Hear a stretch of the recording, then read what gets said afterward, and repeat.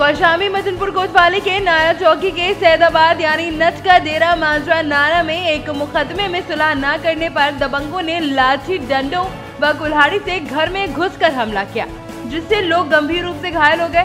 सूचना के बाद पहुँची पुलिस ने सभी को इलाज के लिए जिला चिकित्सालय मंजनपुर में भर्ती कराया है। हाँ आपके साथ क्या हुआ? दो कसी में दुश्मन लोग थे ना हम्म, उन्होंने अटैक किया है। पहले उन लोग गोली भी मार चुके थे। अच्छा। उन्होंने बोला कि अगर आप सुलह नहीं होंगे तो इसी तरह तुमको रोज़ मारेंगे। और मारने के बाद अगर नहीं सुलह होगे तो फिर जान से मार देंगे सामने। धमकी दिया है। धमकी दिया है सर पे राड मारा है। इखलाक में सीबू पप्पू।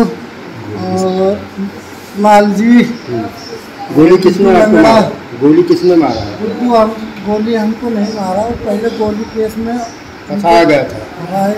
नहीं गोली मारे थे मुस्लिम के अच्छा एक दूसरे के पहले मारे थे। हाँ। मारे थे। तो उसकी रंजिश में अभी बदला लेना चाहते हम उनकी मतलब रंजिश में आप आपसे भी बदला लिए। सुलह हो जाने तो जान से मार देंगे। हाँ, तो रात से मारे। हाँ रात से मारे। सीधू पप्पू है लाल जी है। पप्पू लाल जी भेसड़ा है। मिश्रा। भेसड़ा भेसरा और कौशाम्बी से के संवाददाता राजेश कुमार की रिपोर्ट।